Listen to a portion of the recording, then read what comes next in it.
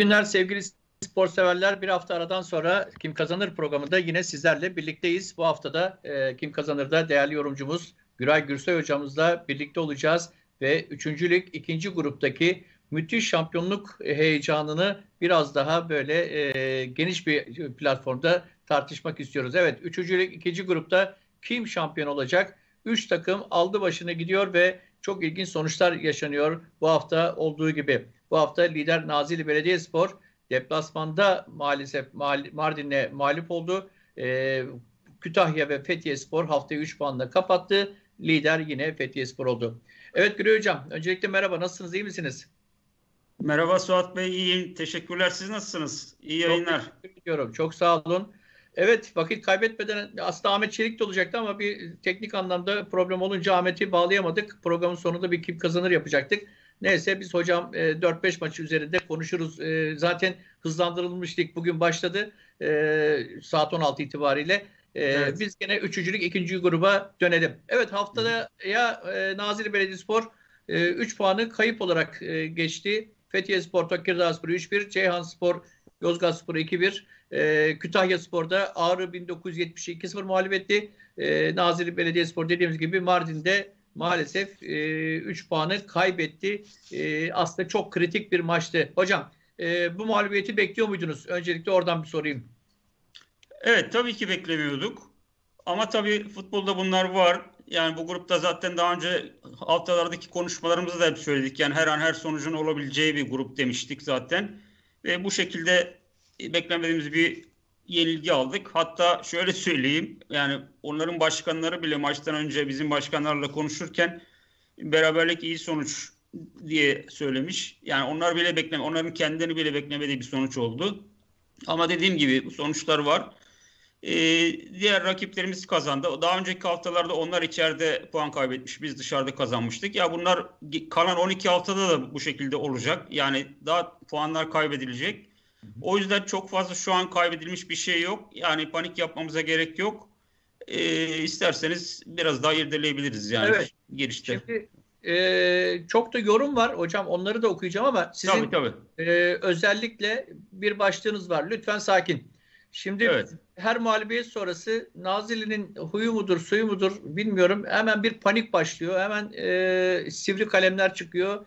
E, evet. Ama sürekli özellikle 3 haftadır siz katılıyor musunuz buna bilmiyorum ama 3 haftadır takımın e, kazandığı haftalarda da kötü oynadığı ve böyle bir mağlubiyetin artık kaçınılmaz olduğu söyleniyor. Ama e, hoca da diyor ki yani adamlar bir kez geldiler Hasan Hoca e, evet. attılar gittiler. Bizim iki topumuz direkten dönmüş. E, kontrataktan evet. bir gol yemişiz. Katılıyor musunuz? Yani kötü oynayıp da mı kazanıyorduk? Bu mağlubiyet e, bunun sonucu mu oldu? Yani beklenen bir mağlubiyet gibi gözüküyor sanki. Şimdi şöyle söyleyelim yani ikinci yarının başından Fethiye maçından itibaren bakacak olursak yani Fethiye maçında hakikaten kötüydük. Yani orada işte e, maçın başında yediğimiz gol işte maçın gerginliği, stresi vesaire bağladık. O şekilde geçti. Ondan sonra işte Ceyhan deplasmanımız var. Orada işte erken goller bulduk. Yani penaltı ve frikikle 5 ve 13. dakikada o rahat kazandık. Onun haricinde e, iki hafta geçen hafta iki hafta maçını e, erken gol bulmamıza rağmen ikinci yarı iyi oynamadık. E, o şekilde kazandık. Ve bu haftaki Mardin maçında da iyi oynadığımız söylenemez. Ama tabii kaybetmeyi de hak etmedik yani onu söyleyeyim yani. Şimdi e, rüzgarlı bir havada oynandı maç suni çimde. E, ilk yarıda zaten e, biz rüzgara karşı oynadık. Zaten sahaya alışma vesaire derken e, iki takım da pek pozisyon bulamadı. İkinci yarıda yalnız rüzgar bizim arkamızdaydı. Rüzgarla beraber yani bir ara çok iyi baskı kurduk yani. yani ben her an gol gelebilir diye bekliyordum. Hı hı. E, ama gelmedi. İşte dediğimiz gibi bir tane frikimiz vardı. Kıl payı direkten gitti. Bir tane de net kaçırdık direkten gitti. Yani pozisyonlarımız vardı. Tabii haliyle risk aldık. Yani hoca değişiklikler de yaptı. Risk aldık golü bulabilmek için. O arada işte bir kontra yedik. Zaten yani tesadüf işte ilk yarıdaki maçta da böyle oldu. Yani 90 artı 2'de kontra ataktan atmışlardı. 1-0 yenilmiştik Nazil'de de aynı takıma. Aynı şekilde oldu. E, kontrataktan yani hiç pozisyonları yokken yedik. Tabi orada tabii kendi hatalarımız var. Orada kademeye gireceğiz, dikkat etmemiz gerekiyor vesaire. İşte kalan dakikalarda da çeviremedik. e, bekleniyor muydu? E, kötü oyuna bakarsak yani ilk 3 haftadaki kalan 3 haftadaki oyuna bakarsak tabii beklenebilir ama oyuna bakarsak yani Mardin maçındaki oyuna bakarsak beklenmedik sonuç bence yani hani e, en kötü beraberlik olabilirdi ki bunu da yapmamız lazımdı zaten yani hani yenemiyorsan yenilme yenilme şeklinde beraberlik kurtarma çünkü bir puan bile çok önemli bu grupta yani bu şekilde değerlendirebilirim. Evet. Ee, Hocam en çok eleştirdikleri bir konu var. Son dakikada bir oyuncu değişikliği mi yaptı Hasan Hoca? O konuyu çok eleştiriliyor. Ee, ben izlemedim evet, evet. tabii yakın takip ettiniz. Yani zorunlu tabii. bir değişiklik mi yoksa yani e, neden son dakikayı bekledi? Ondan önce e, değişiklik yaptı ama esas yani hani bizim en güvendiğimiz kenardan gelip skoru etki edebilecek santrforumuz dediğimiz Muhammed Ali'yi çok geç aldı. Yani 83 veya 84. dakikada tahmini aldı. Yani daha erken almalıydı. Zaten yani Muhammed Ali konusu önemli. Yani onu konuşacaktım zaten notlarımı aldım. Yani bundan sonraki haftalarda Muhammed Ali'yi iyi değerlendirmemiz lazım. Yani bence yani ilk yarıdaki maçlarda çift forvet oynamayı denedi hoca. Yani işte Muratcan'la beraber ikisini oynattı. Bazen Muratcan'ı kanatta oynattı. Bazen e, ikisini birlikte oynattı. Yani hiç denemediği bir şey yok. Denedi. Bence bundan sonraki hatta e, pazar günkü İskenderun maçında bile yani Muhammed Ali ile başlayabilir. Çünkü artık yani bir oyunsal olarak geliştirmemiz lazım. Bir şeyler yap, değiş, değiştirmemiz lazım. Yani hani bu şekilde yani şu görüntü yani oyun görüntüsü şampiyon olacak bir takım şeyi göstermiyor bize. Ee, on, onun için oyunumuzu geliştirmemiz gerekiyor. Yani o, o anlamda da taktiksel bir takım değişiklikler yapması gerekiyor hocanın. Evet. Hocam bir şey dikkatimi çekiyor. Yani e, geçen hafta yine e, sevdiğim bir kardeşim e, Ahmet Çelik, e, Mustafa Çelik köşe yazısında ya biz çok mu zenginiz? Birdenbire bir 5 bin lira bir prim açıkladınız e, gibisine bir eleştiride bulundu. Ya dedi yani herkesi bir hedef takım haline getiriyorsunuz. Yani böyle bir eleştiri de var. E, şimdi sizin yazdıklarınızı da okuyorum. Daha diyorsunuz ki e, bu e, iki tane çok önemli bir maç var. Biri pazar günü İskenderun'la, biri çarşamba günü e, Kütahya'da ki evet, evet, evet. noktası Kütahya Spor'la. Şimdi 12 tane maç var. E, bu maçlar öncesinde bir an önce moralleri düzeltip ayağa kalkmalıyız demişsiniz. Yani evet. yakıp yıkarak bir yere varamayız demişsiniz ama e, bir yandan da hocanın oyunun oyun şeklinde bir değişiklik yapmasını e, istiyorsunuz.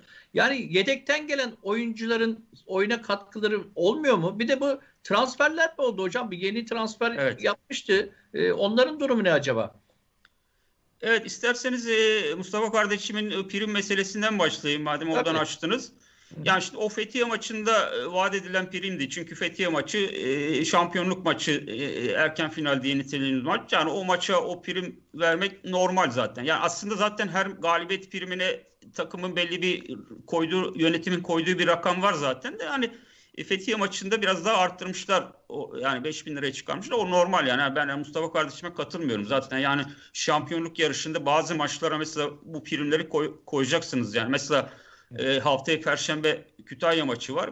Oraya da mesela deplasmana yani çok iyi bir prim. Galibiyet primi zaten vardır da yani deplasman galibiyetine, o maçın galibiyetine mesela çok iyi bir prim koyulabilir yani. Hani bunlar motive edici şeyler. Yani netice futbolcular profesyonel yani para için oynuyorlar bunu. E, gerçi şu anda hani benim araştırmalarıma göre yani hani parayı ikinci planda düşünüyorlar. Yani hani onu da araştırdım yani hani e, maddi bir sorun var mı? Yani e, ödemelerde bir sorun var mı? Sıkıntı var mı? Onun sahaya yansıyor mu? Çünkü performans düşüklüğü var bazı oyuncularda e, yansıyor mu diye onu da araştırdım. Yani böyle bir şey yok. Ödemeler yapılıyor. Yani aşağı yukarı garanti ücretlerin yani peşinat dediğimiz garanti ücretlerin %90'ı falan ödenmiş. İşte Hı. maç başıları var. O garanti ücretler ödendikten sonra maç başıları geç, geçilecek. Yani primlerde de sadece geçen hafta işte o Kıyakta maçının prim var. O da bu hafta ödenecekmiş. Yani evet. ödemelerde bir sorun yok ki bu, bu maddi maddi konuda üç takım arasında en geride üçüncü sıradaki takım biziz diyebilirim yani. Çünkü e, Fethiye ve Kütahya'nın bu anlamda çok daha rahatlar. Zaten biliyorsunuz hocalarını da aldık buraya. Onlara da sorduk aynı konuyu maddi sorun yaşıyor musun? Hiçbiri yaşamadık diyorlar. Yani günü gününe her şeyler ödemeler yapılıyor. Yani bizde biraz gecikmeler olabilir. Bunlar doğal. Ki zaten artık yani bence futbolcu kardeşlerim buradan sesleneyim yani hani bu maddi konuyu yani şu kalan 12 haftada artık çok fazla e, düşünmemeleri lazım. Neticede alacaklar. Yani federasyona veriyorlar bir şekilde alıyorlar paralarını. E, evet. ondan, ondan sonra yani transferler konusunda e, tabii ele, eleştirilerden bir tanesi de e, devre arasında takımın takviye yapılamaması. Evet doğru ben de katılıyorum. Ama yakından takip ettim o süreci. E, yapamadık. Yani şartlar uyuşmadı. Yani biraz da şundan kaynaklandı bence. E, yönetim takıma güvendi yani. Hani kadroya güvendi. Yani bu oyuncularla buraya kadar geldik. Bu oyuncularla gidelim. Kadroyu bozmayalım. Yapabilirsek iki tane takviye yapalım diye düşündüler. Ama onu da yapamadılar. Yani bir tane mesela eski oyuncumuz, kendi oyuncumuz Fatih vardı. Fatih Yüge'yi onu almaya çalıştık. Bayağı da uğraştık ama maalesef İnegöl Spor Başkanı bırakmadı. Yani kendisi de gelmek istiyordu. Yani Fatih gelseydi yani çok şeyi değiştirebilirdi bu takımda. E, evet. E, genç oyuncular aldık. E, üç tane genç oyuncu aldık. Onların bir tanesi oynadı bu maçta. Mehmet Ersavaş orta sahamızın önemli oyuncusu e, cezalıydı. Sarı kart cezalısıydı. Onun yerine 19 yaşında Gaziantep Spor'dan kiraladığımız e, genç oyuncumuz oynadı. Hasan oynadı. E, fena da oynamamış yani hani biz e, görüntü çok net değildi yani kale arkası çekiminden hani çok net e, göremedik ama yani edindiğim bilgiler e, fena oynamadığı şeklinde. Ama tabii benim maç öncesi yazımda oraya mesela ben e, stoperlerimizden Polat'ı kaydırabiliriz diye düşünmüştüm. Yani hani daha dirençli işte Polat işte Zafer ve e, Bünyamin'den oluşturabiliriz diye düşünmüştüm. Hocanın tercihi e, gerideki tandemi stoper tandemini bozmamak oldu. Hasan'ı oynattı. Yani hocanın tercihidir. Yani ona bir şey diyemem. E, onun haricinde yine yine yeni transferlerimizden e, kanat oyuncumuz Oğuzhan e, Erbaa'dan gelen o da sonradan oyuna girdi. E, bir tane de Altınordu'dan gelen genç oyuncumuz var. O zaten şu an oynamıyor. Ya onun haricinde yani orta sahamızda zafiyet var. Zafiyet var işte. Yani orta sahada bir türlü üretemi üretemiyoruz. Yani zaten kanatlarda sorun yaşıyoruz. Sorun yaşıyoruz. Yani şimdi elimizde Muratcan gibi bir santiforumuz var. değerlendiremiyoruz ve şimdi o da eleştirilmeye başlandı. Yani işte Muratcan sadece penaltılardan gol atıyor. İşte hatta bazen işte çok daha ağır bence yanlış bulduğum işte Hoca kendi kendi getirdiği oyuncu olduğu için Muratcan'ı oynatıyor falan gibi. Ya bunlar e, hiç e, katılmadığım, bence saçma bulduğum e, eleştiriler. Yani kanatları kullanmamız lazım. Orta sahadan da tabii e, ikiye birlerle yani ara paslarla defa, forveti desteklememiz lazım. Yani oyunsal olarak işte zayıf gördüğüm şeyler bunlar işte. Bunları geliştirmemiz lazım. Bir de işte geçen hafta kağıtta maçından sonra da yazmıştım. Topsuz oyunda yokuz mesela. Top, pası veriyoruz. Ondan sonra bekliyoruz yani hani işte boşa kaçmamız lazım. İşte e, raki, o verdiğimiz pası ondan sonrası takip etmemiz lazım. Yani bu şekilde ne bileyim hızlı oynamamız lazım. Yavaş oynuyoruz mesela. İşte dediğim gibi oyunu geliştirmemiz lazım. Bu anlamda da hocaya iş düşüyor. Hocamız işte artık değerlendirecek. Yani çünkü evet. şu görüntü e, şampiyonlukta biraz zorlanırız gibi gözüküyor ama ama evet. tabii e, işte biraz sonra hani rakipleri de konuşuruz. Onların oyunlarında da çok fazla bir şey yok yani. Onu da söyleyeyim. Diyorsunuz. Yani yok birbirimizden farkınız e, diyorsunuz. Evet evet. Evet. Peki hocam şimdi sizin yazdığınız e, bu maç sonrası e, söylediklerinizde çok sayıda yorum var. Bu evet. arada e, e, teknik servisteki arkadaşlarımız Ahmet arkadaşım e, sesi düzelttim diyor. Eğer bağlanabilirse Nevzat Bey e, bize Ahmet'e bağlarsa sevinirim. Çok istiyor çünkü. E, en azından kim kazanır bölümünde olur. Hocam demişsiniz demiş ki Aktay Atilla e, son maça kadar destek en önemlisi moral ve çocuklara güvenimizi hissettirmeliyiz. Çocuklar bunu hissetmeli. Sonuna kadar destek. Bu çok önemli demiş. Ben aynen katılıyorum. Ee, Sayın Soy Bayraktar, Güray kardeş daha çok maç var önlerinde. Moraller bozulmasın tabii sporculara. Tam destek vermeliyiz. Bizler eski bir Nazilli sporluyuz ve bütün zorlukları aşarak 68-69 sezonu takımı şampiyon yaptık. Şimdiki futbolcularımız da kendilerine inansınlar demiş ve devam etmiş. Bunlar herhalde e, bu arkadaşlar eski Nazilli Spor'un e, tozunu toprağını yutmuş arkadaşlar değil mi hocam? Evet evet onlar bizim efsanelerimiz, büyüklerimiz, abilerimiz. Yani e, Allah uzun ömür versin, sağlıklı ömür versin. Kendilerini çok sever sayarım. E, yorumlarında çok sevindim. Yani çünkü onların onların bu şekilde destekleri çok önemli takımımız için. Çünkü onlar 1968-69 şampiyonluğumuzun mimarları yani. Kaleci Saim abi, Saim hocamız olsun. Aktay abi kaptanımız. Yani bunlar çok Muhabir önemli var. de Anna gibi efsaneler diyor. Yani tabii, onların tabii, oyun tabii. zekaları, hırsları, kazanma arzularını çok özledik diyor taraftarlar. Takımda gol yendiğinde isyan edip takımı motive edip reaksiyon gösterecek oyuncu yok. Katılıyor musunuz hocam buna? Ben katılıyorum. Evet evet evet zaten söyleyeceklerinden biri de buydu. Yani bizdeki taraftardaki hırsı, isteği e, oyuncularımızda ve teknik eğitimimizde göremiyoruz. Açıkça söyleyeyim yani. Hani ben ben yani takımla yatıp kalkıyorum diyebilirim yani. En ince ayrıntısına kadar uğraşıyorum. Biraz önce mesela Perşembe günü Kütahya'da hava nasıl, hava sıcaklığı nasıl, hava durumuna baktım. Ondan sonra Karaman, Fethiye Karaman'a gidecek. Karaman'da hava nasıl ona baktım. Yani en ince ayrıntısına kadar bakıyorum. Mesela ben futbolcu kardeşlerimde şunu isterim mesela. Ya elbette yani maç toplantısı yapılıyordur, rakip analizi yapılıyordur, hocalarımız, e, yardımcı hocalarımız e, analiz yapıyordur, gösteriyordur ama kendileri de bireysel olarak yani e, rakipleri takip etsinler, kim ne yazıyormuş, e, ne yazıyor, ne yorum yapıyor. Yani hani çok fazla etkileme, yani sosyal medyayı takip etsin anlamında söylemiyorum da yani evet. yani en ince nüanslar bile çok önemli burada yani. Onun için onlardan hem biraz daha istekli, arzulu olmalarını istiyor istiyorum. Yani taraftarlarımız da görüştü o şekilde. Onlara katılıyorum yani. Evet. Şimdi Engin Kocaman demiş ki rakiplerimizin bizden daha zor deplasmanları var ve birbirleriyle oynayacaklar. Sen de Kütahya ile oynayacaksın. Kütahya'da yenilmemelisin ve içerideki pazar günkü İskenderun maçını yenmelisin. Bu takım şampiyon olmazsa devre arası transfer yapmayanlara yazar demiş. E, devre arası en az iki tane ilk 11 oynayacak özellikle. Biri orta saha, biri kanat adamı lazımdı. Transfer yapmamak kumardı bence demiş hocam. Katılıyor musunuz? Evet Engin kardeşime katılıyorum. Kendisi sevdiğim saydığım bir kardeşimdir. Yani eski basın mensubudur. Şu anda sanıyorum e, komiserimiz oldu. Yani e, emniyet mensubu oldu. Kendisine sevgilerim saygılarımı göndereyim buradan.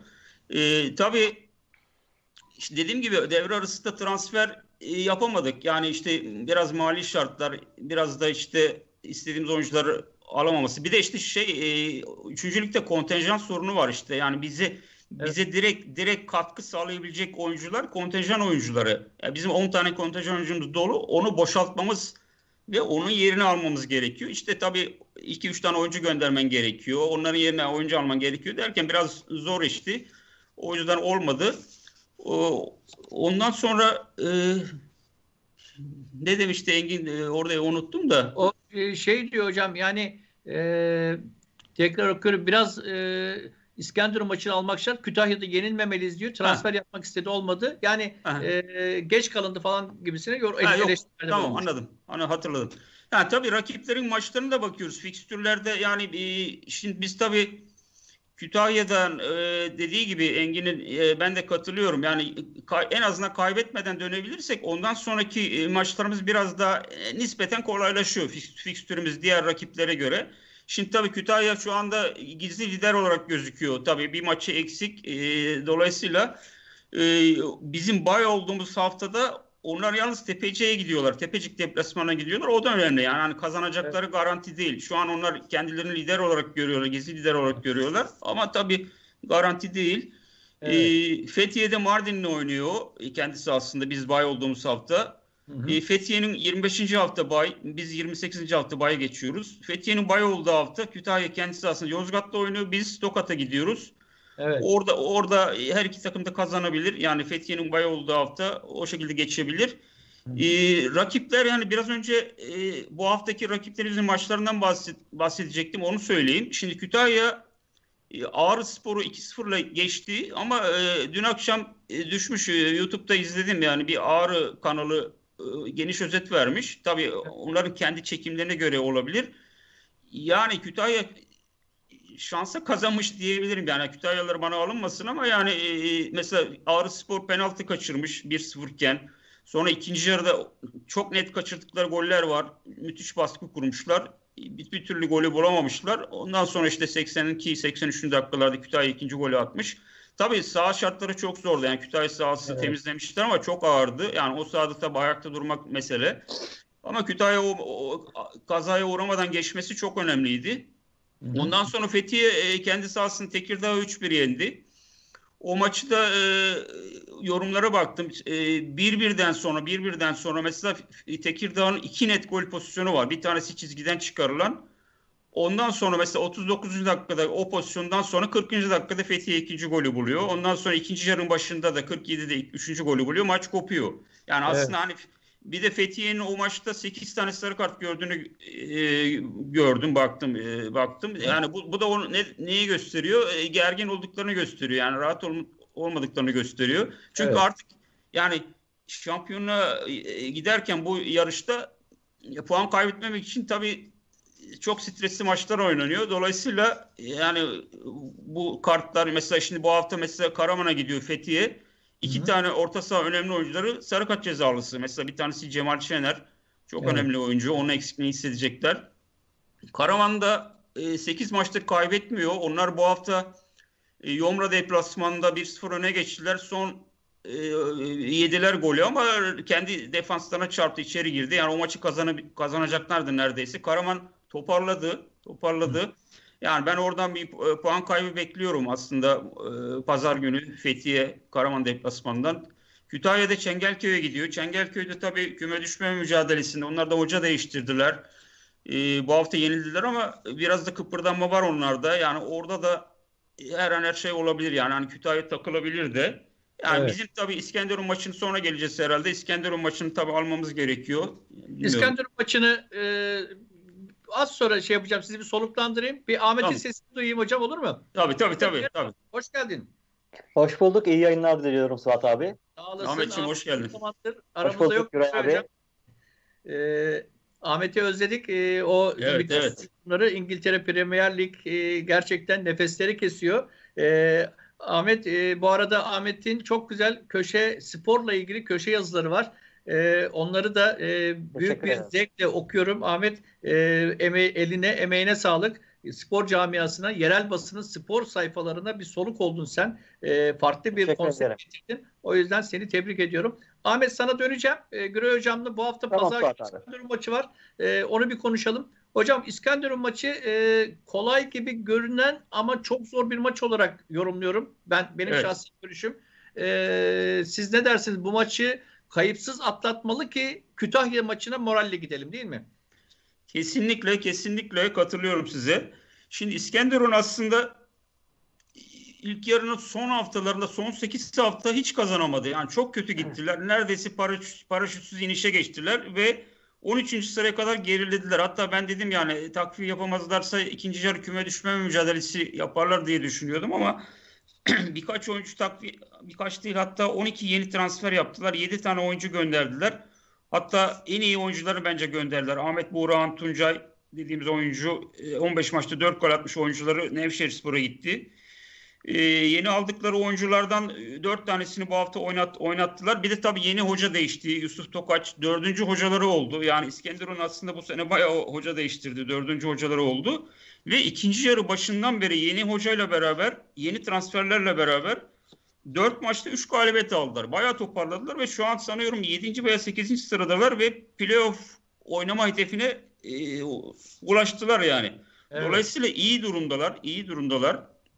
E, bu hafta e, zor maç olacak. Kalecileri e, cezalı, sarı cezalısı Kadir Bilim şey e, Ramazan Haklı isimli kalecileri sarı cezalısı. Onun yerine diğer kalecileri oynayacak. 5 maç oynayan e, sanıyorum e, Onur oynayacak. Onun haricinde yeni transferlerden Kadir Bilimliyer var. Stoper olarak o oynuyor. Recep Metin var. Orta saha o oynuyor. Murat Nurettin Ersin orta sahada oynuyor. Abdurrahman Kuyucu var. Sağ kanat. Bu oyuncuyu çok beğeniyordum. Daha önce Sivas Belediyespor'da falan takip ediyordum. Evet. Yeni geldi. Erok Spor'dan aldılar bunu. E, Santiforları Uğur Uğur var. O bu hafta oynamamış ama bizim maçta oynar mı? Sakatlığı mı var? Covid mi var? Bilmiyorum. E, onun yerine e, Forvet'te 3 tane e, hareketli oyuncuyla oynamışlar bu hafta. İşte Abdurrahman var, Burak Temir var, bir de Oğuzhan var. Onlarla oynamışlar. Yani rakip rakip analizini iyi yapmak lazım. E, çünkü hızlı, çabuk oyuncular var ileride. Yani bizim teknik heyet buna göre önlem alması gerekiyor. Hı hı. Dolayısıyla zor maç olacak. Ee, biraz önce aldığımız habere göre de e, maçı yayınlayacak Mislikom. Onun açısından da sevindim hem e, izleme açısından hem de e, uğurlu geliyor bize. Mislikom'un verdiği sanıyorum 5 veya 6 maçımız hepsini kazandık yani. E, onu da söyleyeyim bir not olarak. Evet. E, evet. Maçı saati e, federasyon sitesinde 12.30'da gözüküyor ama e, doğru mu e, yanlışlık var mı bilmiyorum. 12.30 veya 13 fark etmez. e, bu maçı kazanmamız şart yani. Hani evet. hiçbir, hiçbir lamıcimi yok yani hani şöyleydi böyleydi yağmur yağdı çamur kardı şudu falan gerek yok. Kazanıp e, Kütahya'ya git, git, gitmemiz Gitmem. gerekiyor. Artı evet. zaten biz kazanırsak e, rakipler deplasmanda olacağı için he, takılmaları halinde tekrar lider lider olabiliriz. Yani liderlik evet. de çok önemli değil şu an. Aslında yani hani ikinci gitmek de e, çok e, şey çünkü lider olunca biraz tabii liderlik baskısı da oluyor. İşte yok, yok, hocam, alsın başına gitsin bence yani al, otur liderliğe vur geç ondan sonra yani e, tabii Nazilli bir olur biz ağırlıklı Nazilli konuşuyoruz. Diğer tabii, e, tabii. Kütahyalı taraftarlar ve yöneticiler şey yapmasınlar. Tabii tabii. tabii iyiyse kim e, futbol oynuyorsa, kimin şansı yanındaysa, kim e, kime üstünlük sağladıysa o şampiyon olsun. Üçü de Kesinlikle. hak ediyor. Kütahya'da hak ediyor, Fethiye'de hak ediyor, Nazilli'de hak ediyor. Ama e, bakalım gülen taraf kim olacak? E, hocam ben de evet. pazar günü e, canlı yayın için e, Nazilli'de olacağım. Gerçekten 27 puanı var. Playoff hattına çıkabilmesi için Ceyhan Spor'a en azından Ceyhan Spor'a yetişebilmesi için mutlaka evet, evet. için gelecektir İskenderun Spor. O yüzden çok dikkat etmesi gerekiyor. Taraftarlar aynı motivelerini balkonlarda e, maç önünde vermeliler. E, o yüzden bütün nazilleri maç öncesi, maç dışında, stat dışında takımlarını e, coşkuyla desteklemeye davet ediyorum. Hocam gene son olarak döneceğim size. Vaktimiz çok kısıtlandı. Ahmet'e Ahmet'e pas, pas atalım. Hatta Nazil Spor'u nasıl görüyor şampiyonluk evet. şansımızı? Ahmet'ten de bir görüş alalım. Evet. Ahmet nasıl görüyorsun Nazilli Spor e, bu hafta liderlikten oldu ama e, geçici diye düşünüyoruz. Şimdi e, Suat abi, Güray abi öncelikle e, çok güzel yorumlar yaptı Güray abi. E, teşekkür ediyoruz kendisine. Gerçekten e, Nazilli Spor'un grubu konusunda uzman diyebiliriz. E, ben Nazilli Spor'un e, Mardin maçında bir puan alsa iyidir diyordum işin açıkçası. O kadar uzak bir deplasman, e, hava şartları, hava değişimi. E, yani bu grupta ben daha e, henüz bir şeylerin belli olmayacağını düşünüyorum. İşte Kütahya Spor var, e, Fethiye Spor var, Nazilli Spor bu grubu e, şampiyonluk grubun içinde. Ben e, dengelerin değişebileceğini düşünüyorum ve en az hata yapan takımın şampiyon olacağını düşünüyorum bu grupta. Aynen doğru doğru söylüyorsun Ahmetciğim evet. Doğru. Yani şu an e, işte Fethiye Spor öne geçti veya Kütahya Spor 2 puan önünde e, bence buna takılmamak lazım. Bundan sonra maksimum puan almak lazım bu grupta. Aynen evet. öyle. Aynen öyle. Evet Ahmet, e, öncelikle kim kazanırın e, bu bölümünde Toto'daki 5 tane yabancı maç var. E, evet. Hemen kısa kısa geçelim. Birisi İngiltere'den, hatta 3'ü İngiltere'den, ikisi İtalya'dan. E, evet. İngiltere'den West Ham Tottenham maçı ile ilgili yorumunu alayım. Öncelikle ben bugün e, Köln formasıyla geldim. Tüm Almanya'daki gurbetçi e, Türklerimize oh, selamlarımı, saygılarımı gönderiyorum. Benim Almanya'daki takımdır Köln. Önceki bu bilgiyi vereyim. E, hemen başlayayım. E, West Ham Tottenham. Bu hafta derbiler haftası. İşte West Ham Tottenham, Liverpool, Everton, e, Milan Inter maçları var. Tam bir derbiler haftası. E, West Ham iç sahada 12 maçın 6'sını kazanmış bir takım. 42 puanı var ve 5. sırada. Tottenham ise lige e, şampiyonluk parolasıyla başladı. Biraz öyle de gitti. Büyük bir seri de yapmıştı Mourinho'yla. Fakat şu an düşüşe geçti. Son 5 maçında 4'ünü kaybetti. Ben derbide beraberlik çıkacağını düşünüyorum bu maçta. Evet. Mü- müthiş bir maçta Liverpool Everton. Liverpool Everton maçı şimdi Liverpool'da kötü gidiyor. Son 3 maçta mağlup oldular. E, Everton'da son 2 maçında mağlup oldu Ancelotti'nin öğrencileri. E, bu maçta şimdi Liverpool'da e, Jurgen Klopp'un e, hafta içinde bir açıklaması vardı. Ben asla pes etmem. Sonuna kadar yarışın içinde olacağız dedi. Ben e, Jurgen Klopp'un da futbol anlayışına çok güvenen birisi olarak da e, bu maçta Liverpool'un Everton'a daha şanslı görüyorum ve bir diyorum. Bir, bir. de gollü maç bekliyorum. Gollü maç.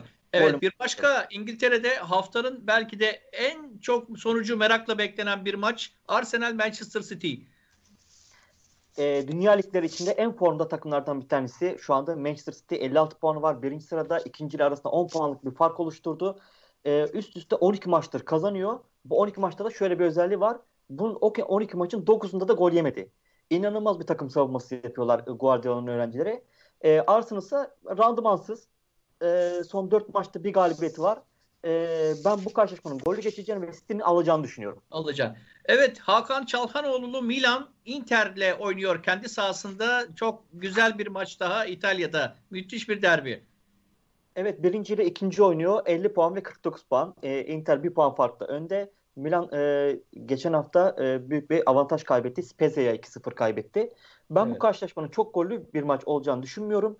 Alt biter diyorum. Aynı zamanda beraber ihtimal daha ağır basıyor benim için. İki takım evet. da kaybetmek istemez. Peki bu iki takımı çok zorlayan Atalanta Napoli ile oynuyor bir başka derbi. Evet Atalanta Napoli maçında da iki takım da işte 5. ve 6. oynuyor. İkisinde 40 puanı var. E, Napoli son maçta Juventus'u 1-0 yendi. Ben bu maçta 2.5 üstü e, ve beraberlik bekliyorum. Evet. Ağır Peki, Ahmet, beraberlik bekliyorum. Beraberlik diyorsun. Bunları not aldık. Haftaya e, programımıza konuk olma şansın olursa e, değerlendiririz. Yoksa da bana bana atarsın. E, bunları ben evet. zaten takip edeceğim. E, bir de kendi oy, oynadığın, e, kendin düşündüğün 3 4 maçı da hemen hızlı bir şekilde alayım. Yayınımızı evet. kapatacağız. Ben kendi bankolarımı hemen söyleyeyim. E, İngiltere Premier Ligi'nden benim bankolarım. Burnley, West Bromwich Albion. E, çok gollü bir maç beklemiyorum. Sıfır diyorum. Fulham, Sheffield e, United'da oynuyor. Ben bu maçta Fulham'ın kazanmasını bekliyorum. Manchester United, Newcastle yine Manchester United'ın kazanmasını bekliyorum. Bir de Brighton, Crystal Palace bu maçında e, yine beraberlikle bitmesini bekliyorum. Evet. Hocam sana da 3 tane maç sorayım. Ee, hemen Türkiye liglerinden. Fenerbahçe Göztepe. Evet Banko 1 diyorum. Banko 1. Bu akşam e, çok ilginç ama Trabzonspor'da 7 tane futbolcu Covid'e evet, yakalandığı evet. için oynayamayacak. Yani kim olduğunu bilmiyoruz ama Başakşehir bugün Trabzonspor'u yener mi? Evet kalecileri yok. Kalecileri yok. 3 tane kalecileri. Üçü de Covid. Hatta 19 yaşındaki genç bir çocuk oynayacak. Genç bir kaleci oynayacak e, Bu diye diyor iyi oldu hocam. Bak, bakıyorum. E, dolayısıyla bence Başakşehir alır maçı. Alır. Yani bu avantajı evet. değerlendirir. Çünkü küme düşme potasındalar yani. Evet. Hocam ben e, ortak noktaya varır mıyız bilmiyorum. Son olarak Denizli Spor Gençler Birliği'ni bu hafta patlama yapar diyorum. Var mısınız? Kesinlikle yani... katılıyorum. Gençler Birliği'ni geçen hafta izledik e, Beşiktaş maçında. Çok kötülerdi, çok zayıflar. Denizli Spor alır mı maçı? Evet. Hocam 5 e, tane Avrupa'dan, 3 tane içeriden sizin yorumunuzu aldık. E, evet. Gerçekten çok güzel maçlar var ama süremiz de doldu. Ben e, hocam son olarak söylemek istediğiniz bir şey var mı? Alayım. Evet taraftarlarımız e, merak etmesinler. Yani bu takımı sonuna kadar desteklesinler. Zaten destekliyorlar. Hepsinin hakkını ödeyemeyiz. Ee, e, sezon sonunda şampiyon olacağımıza inanıyorum. Bu hafta sonunda lider olacağımıza inanıyorum ben. Evet pazar günü inşallah e, ben de canlı yayında liderliği e, tüm Avrupa'ya, dünyaya, Türkiye'ye duyurmak istiyorum. Ahmet e, yorumlar için çok teşekkür ediyorum. Senin söylemek istediğin bir şey var mı? Suat abi ben teşekkür ediyorum. Aynı zamanda bizim bir Premier Lig grubumuz var. E, orada Premier Lig'deki haftanın maçlarını, oyun, e, sakatlıkları falan yorumluyoruz. E, olan olmayacak oyuncuları yorumluyoruz. Ben oradaki tüm arkadaşlarıma da selam gönderiyorum buradan. Evet Ahmet senden tüy almaya devam edelim. Birazdan ararım seni. tamam. Teşekkür evet. ederim Suat abi. Sevgili Ege TV izleyicileri kim kazanır e, programımızın da bu hafta sonuna geldik. Pazar günü ve Perşembe günü e, özellikle Üçüncülük ikinci grupta müthiş şampiyonluk heyecanına tanık olacağız ve haftaya Cuma'da e, bu iki haftayı değerlendireceğiz Güray Hocam'la. Ahmet evet, Çelik müsait olursa onu da e, programımıza konuk etmek istiyoruz. Çok istiyoruz. Ben e, katıldığınız için her ikinize de teşekkür ediyorum. Ben Rica ederim. Evet. Sağ olun. İyi günler, iyi yayınlar. Haftaya görüşmek üzere Ege TV izleyicileri. Şimdilik hoşçakalın. İyi bir hafta sonu olsun.